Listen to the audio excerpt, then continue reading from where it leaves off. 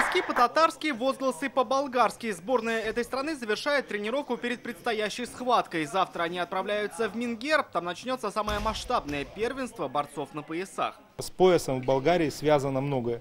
Они, когда хороводы возят в Болгарии, они держатся за пояс. Когда борются, держатся за пояс. Там ритуалы есть, танцы и так далее. Именно этот пояс в первую очередь отличает эту борьбу от борьбы, например, вольной. Ну и техника, соответственно, тоже отличается. Если в вольной или, к примеру, в греко-римской борьбе противника достаточно взять на удержание, то в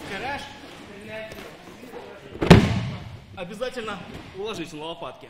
Правила обязательно повторят в день чемпионата, ведь по словам организаторов, в разных странах они отличаются. На мировом же первенстве все традиционно, без подсечек, подножек и на свежем воздухе. Провести это так, чтобы грандиозно, чтобы люди могли посмотреть и отдохнуть на природе. Как и на прошлогоднем Кубке мира, местом мировой борьбы станет Майдан Мингера. В случае дождя для борцов и зрителей специальные навесы. Мы готовились 20 лет, там инфраструктура позволяет, там можно увидеть национальную культуру, национальный колорит и освещение соответствует тем стандартам, которые надо для того, чтобы вечером проводить соревнования. С утра и до позднего вечера чемпионат откроется 16 июня. Судьи должны успеть не только отсмотреть, но и правильно оценить схватки всех борцов. Окончательно утверждено 42 страны-участницы. Рамиль Шайдулин, Ренат Сафин, ТНВ, Казань.